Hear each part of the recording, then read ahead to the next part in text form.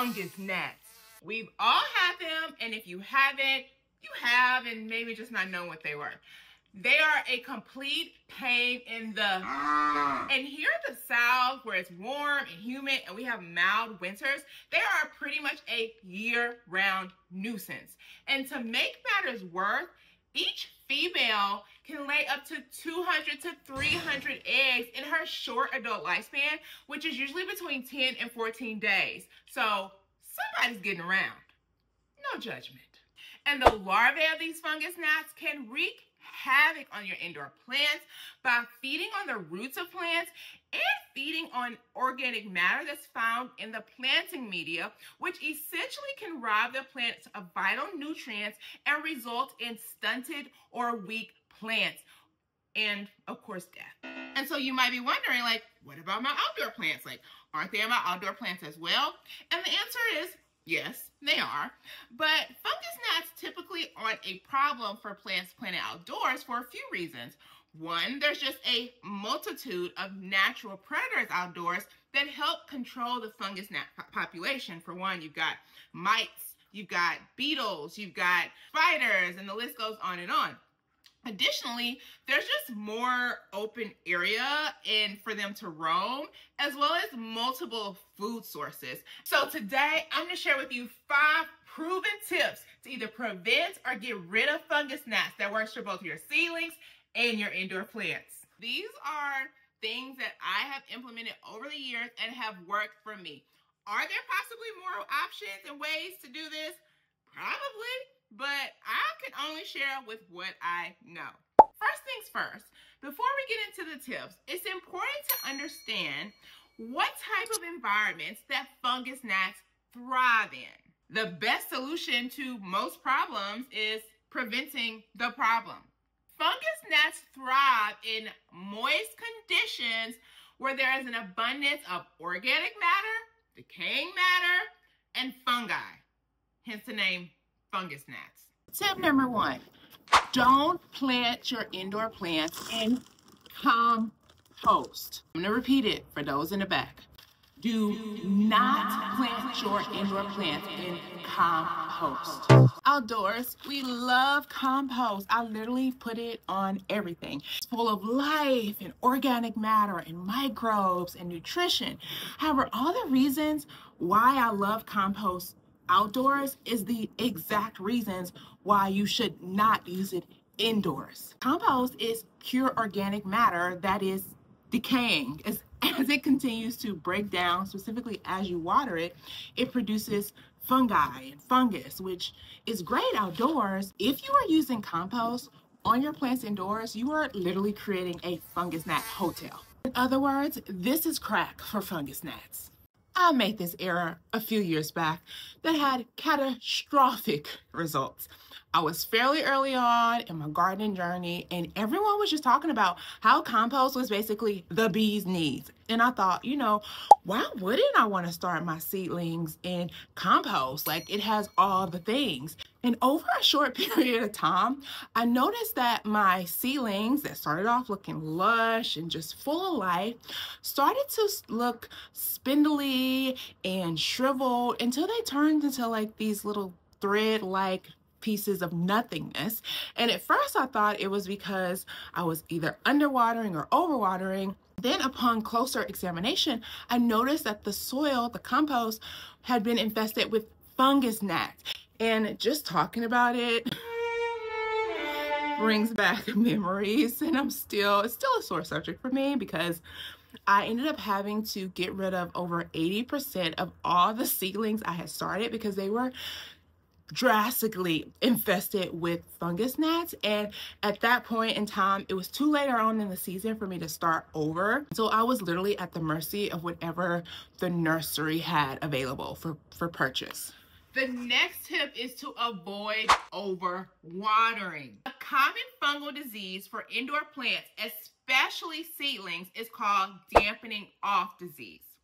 Now, dampening off disease is usually caused by overwatering and or poor drainage. It will cause plants to collapse and then they'll start to rot and then eventually die off. A lot of beginner gardeners actually mistaken this for underwatering their plants. And so they'll water the plants more, which only makes the problem worse. Another visual symptom of dampening off disease is a white or grayish fungus on the surface of the growing media and even on the actual plant. And fungus gnats love this stuff. And unfortunately, there is no way to cure plants of dampening off disease.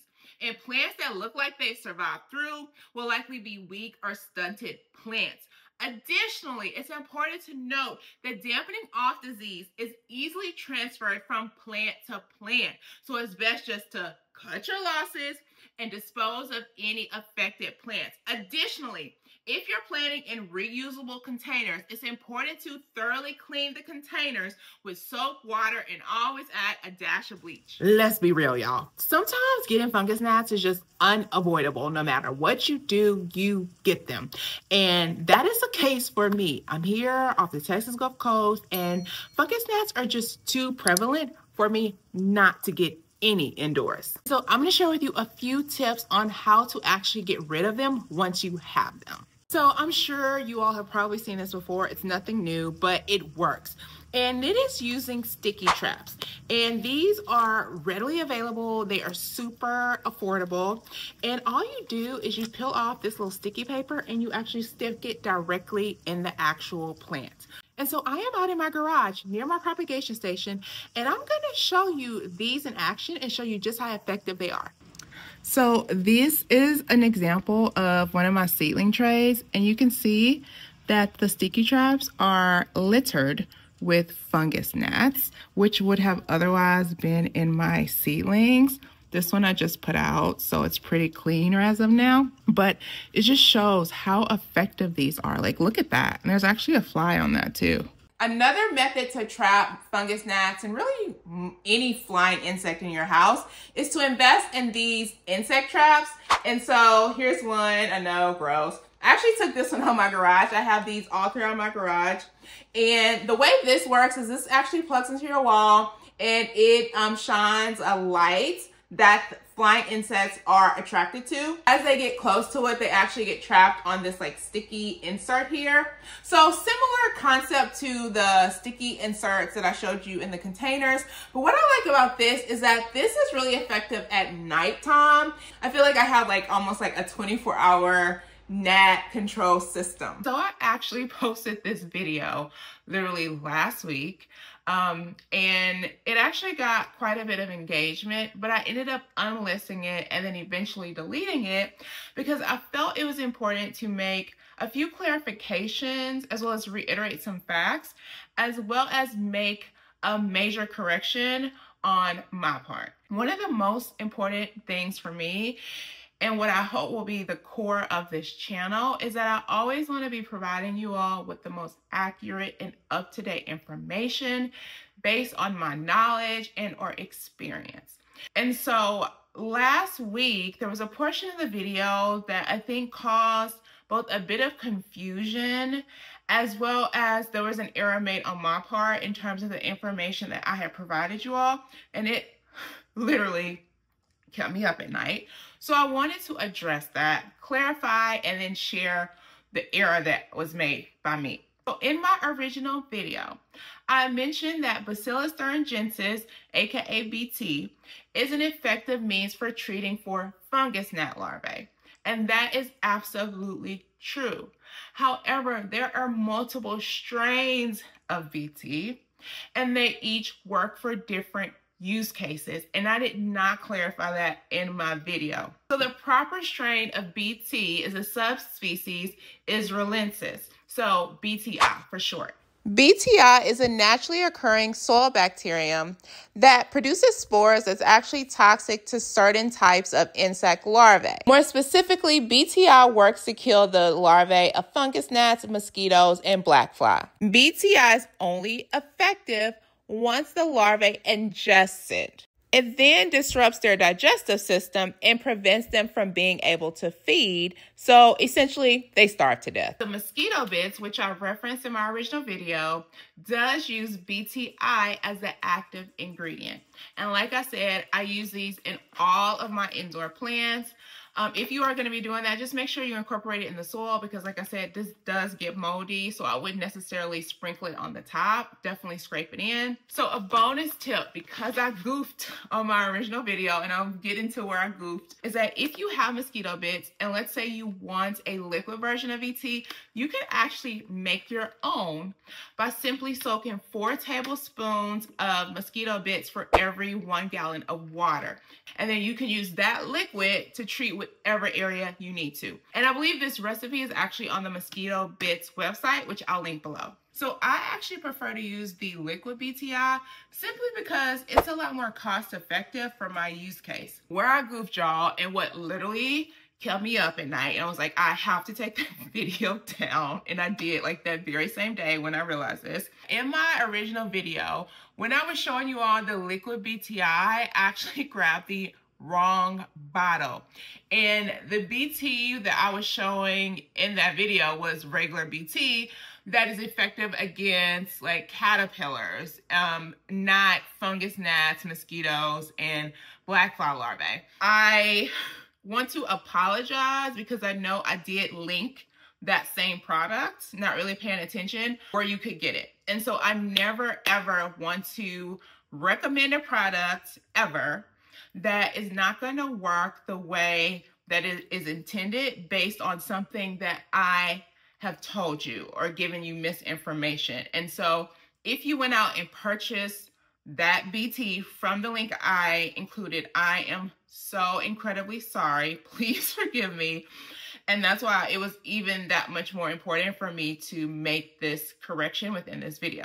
I have since updated the links to make sure they're all correct. So this is the actual BTI. I have two different sizes of it that you're want to use. This smaller bottle is a two ounce bottle, and this is perfect for home use.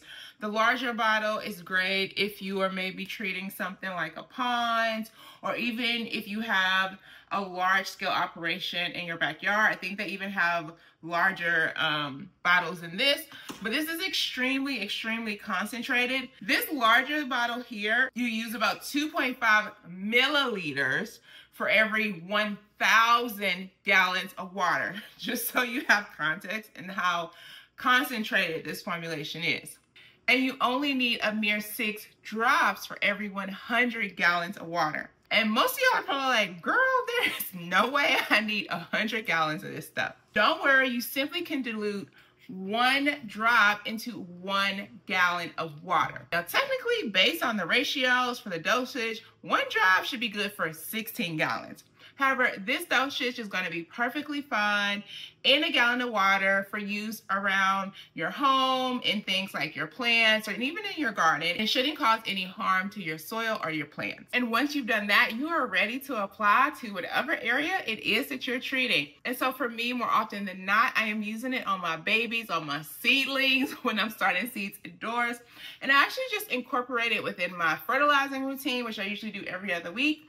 And what I do is I just add some of the BTI as well as the fertilizer in a one gallon container and bottom water by pouring it into a tray and then letting the seedling soak it up. So once you've created your diluted solution, you want to make sure you use within one to two weeks. I actually reached out directly to the manufacturer on this because I was just curious about the general shelf life once diluted. And what they told me is while the BTI is in its original bottle, there's actually a food source within this solution that keeps the spores alive. However, once you dilute it into water, they no longer have that food source. So in order to ensure that the spores are actually alive and effective, you want to make sure you use within that one to two week window. I've just been cutting it off at the 10 day mark, but you definitely want to make sure you use within two weeks. I also want to reiterate, this treatment using a liquid BTI is only effective on the larvae of fungus gnats, mosquitoes, and black fly. This will not kill off the adults of any of these insects. The best way to fend off the adults is through preventative measures like some of the ones I mentioned on, earlier on in this video. Also, let's say you treat like your seedlings for larvae, you kill them off, but new adults come and lay more eggs, you will have to treat again. Additionally, this isn't an instant process because in order for this to be effective, the larvae actually has to ingest the BTI. It could take 24 to 3 days for you actually to see results. And depending on how bad the infestation, you might have to treat multiple times. I hope this provides much needed clarity. And again, my apologies for the error on my part in my original video. Now that that's done, back to our regularly scheduled programming. So normally I like to end my videos in my garden, but it's actually raining and it is the warmest it's been all week. It's still in the 30s, so it's not the best day to be out. And for you all northerners, I used to live in Minnesota, so I do know what cold is. So don't come for me in the comments about 30. Oh my gosh. Every time, I swear, he knows every time I'm about to end a video. Because here he comes. And he's wet. Wet dog. Wet dog. He wants... Oh gosh. You're shivering. You're cold. It never fails. Every time. I feel like he knows when I'm ending a video. He's like, it's my cue, mama. Oh gosh. Let's get Ruben at least. Oh God. Screw the chair, I guess. I hope you found today. this is my life. It's it's run by dogs. I hope you found today's tips useful and you can use them to either prevent fungus gnats from infesting your indoor plants or you can get rid of them altogether. Remember, sometimes fungus gnats it's just part of the process and they're unavoidable. And you might have some casualties in the process, like I have, more or less fatalities, and that's okay. You live, you learn, and if all else fails, up from the nursery. And if you have found effective ways to either prevent or get rid of fungus gnats indoors, and I didn't mention it, let me know. I am always looking for new ways to rid myself of these pests. I'm committing. I'm in this I'm in the rain. But y'all already know the deal. Don't forget to like, subscribe, and hit that bell. And remember, every black thumb ripens to green, and it all just starts with a seed.